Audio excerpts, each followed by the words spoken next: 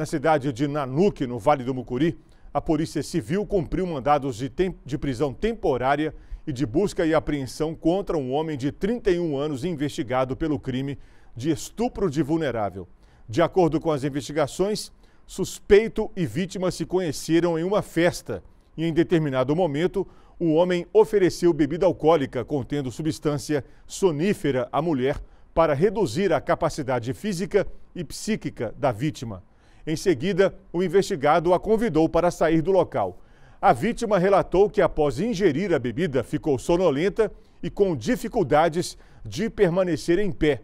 Em seguida, o homem se aproveitou da condição vulnerável da mulher, praticou sexo sem o consentimento dela.